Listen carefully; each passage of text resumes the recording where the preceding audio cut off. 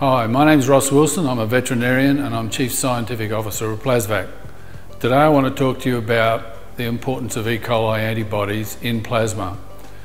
A lot of you may not know that Caniplas donor dogs receive immunisations regularly with canine five-way vaccine and a killed E. coli vaccine as well.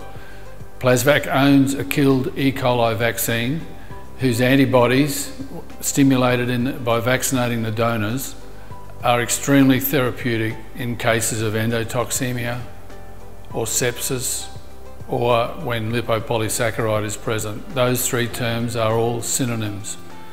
So what's so important about E. coli antibodies?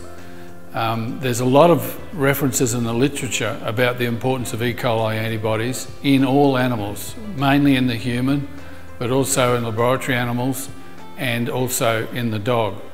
And the references I'm about to quote to you now are all available on our website, www.plasvacc.com, uh, under scientific publications, and um, you can look at them anytime.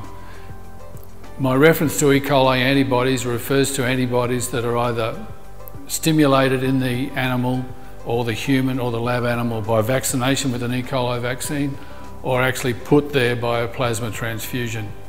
So what is so important about E. coli antibodies in general? The literature has, there is a reference in the literature uh, to the effect that E. coli antibodies in the bloodstream in rats prevent sepsis. Okay?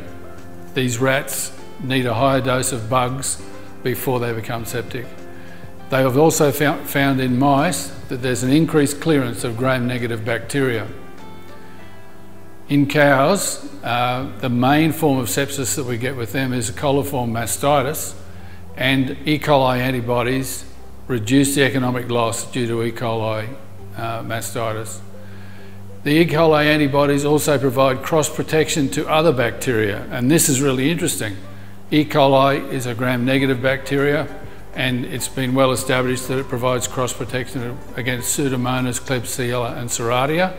But interestingly enough, it also provides cross protection to Staphylococcus. Now that's a gram-positive bacteria, and that's extremely interesting that you get this cross protection.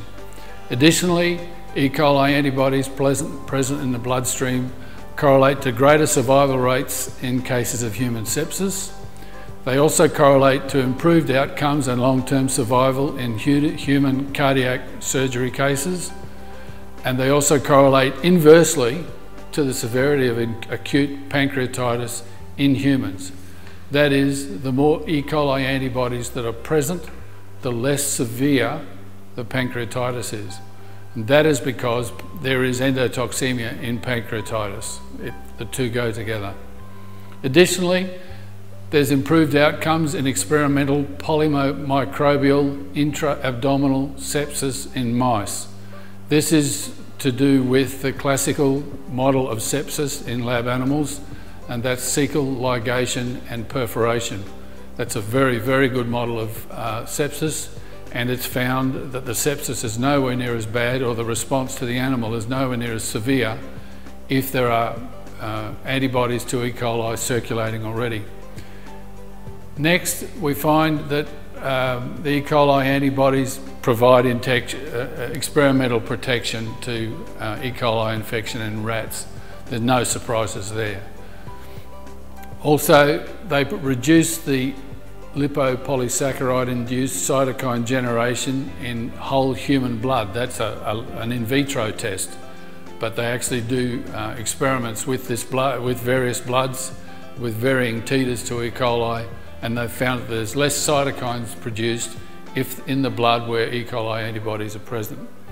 Also, E. coli, e. coli antibodies correlate to the presence of experimentally induced, induced colitis in rats. That is, the more E. coli antibodies uh, that are present, the less severe the colitis is. Once again, it's an inverse relationship. And also they've found an increased level of E. coli antibodies in children that have suffered from intussusception.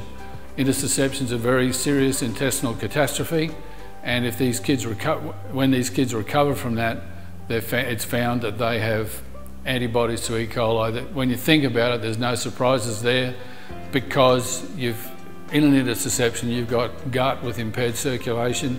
Wherever you've got gut with impaired circulation, you're going to get leaching of endotoxins out of the intestinal contents into the circulation. So, uh, furthermore, the presence of E. coli antibodies is, has a positive correlation with post-operative outcomes in human cardiac surgery. In other words, if there's E. coli antibodies present, the outcome from human cardiac surgical cases is far more likely to be positive. That follows on from the long-term survival rates I referred to previously uh, to do with human cardiac patients. And finally, in a model of um, experimentally induced endotoxemia in pigs, where they induce ischemia in a lower limb, um, uh, when they release the ischemic influence, endotoxemia results. If there's E. coli antibodies present in these pigs, um, before this experiment is conducted, the effects of that lower limb ischemia reperfusion model are nowhere near as severe.